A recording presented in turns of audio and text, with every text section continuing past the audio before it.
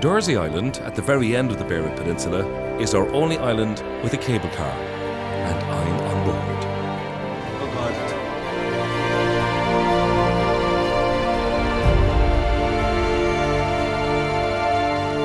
have to admit I'd never been a great man for heights and uh, with Dursey Sound about 100 feet below us. Mm, the only thing is they have very kindly supplied holy water which comes as a great consolation to me. To be honest, I'd have preferred a parachute.